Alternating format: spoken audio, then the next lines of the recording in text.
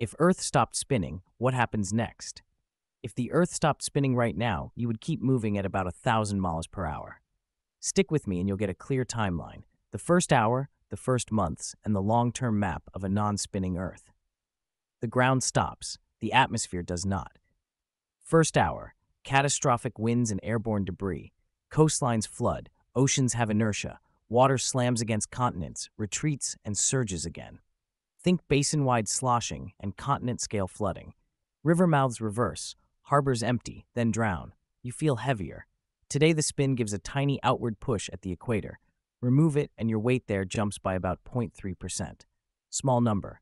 Big clue rotation matters. Weather resets. No daily spin means no Coriolis pattern. The jet stream collapses, a new engine forms, hot air rises on the day side and sinks on the night side. Expect a permanent superstorm belt around the line between day and night. Day and night change. With no rotation, one full day lasts one year. Six months of daylight. Six months of night.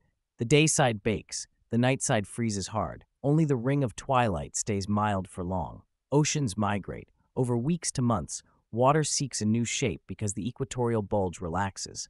Sea level rises toward the poles and falls near the equator. New polar oceans. A broad equatorial land belt dries out. Ground shifts. As the planet's shape relaxes, the crust and faults adjust. Expect powerful earthquakes from that stress change. Volcanoes in some regions wake up. Reality check. You cannot stop a planet instantly. This is a what if. The energy needed is beyond anything natural we know, but the physics tells us what would happen if you tried. Recap First hour, winds and water. First months, climate flip and ocean shift. Long term, a year long day and a new coastline map. Let me know if you're interested, and I will reply with the science on why you gain 0.33% weight and a simple map of the new coastlines. Save this if you love clean what ifs.